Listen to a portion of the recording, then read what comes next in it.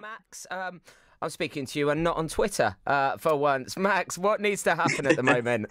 yeah, morning, Aaron. Uh, um, yeah, just like Michaela said, it's uh, it's a really rough time to support Forest at the moment. In fact, it's probably more than rough. It's just um, it's just disappointing. Forest is at bottom, obviously one point and and no wins still, which is unbelievable to say this long into the season. I mean, Forest are quite lucky because Blackpool and Peterborough um, lost yesterday, meaning you know there is a chance that the gap is not too um, big now, and, and, and, Forest can make it up if we win tonight. But in, in terms of what needs to happen, I think um, probably like Michaela said, uh, I think Chris Hughton needs to go. There's no connection between him and the fans, um, and I don't think there's any really re- real connection between the the club and the fans at the moment, and that's um, really sad to see, um, considering how it was kind of pre-pandemic and under Sabri Lamouchi as well. So the manager going, I think, would be a good start, but also just getting our Forest back. A bit of communication would be nice from from Forest and to the fans as well, because I think fans are sick of it. You know, it's the same old every year, and it's and and, and it's miserable for young fans. You know,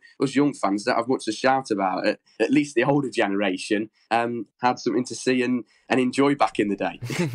yeah, tell me about it. My first season ticket with a mate was under the David Platt season. Um, oh. Now, Max, when you when you look at this, and a lot of people have had um, heated discussions. That's what happens when football goes this way. But in reality, the transfer window is now closed.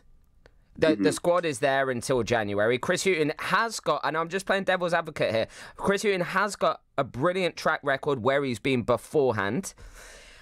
What what changes by bringing someone else in, given the way the club is at the moment?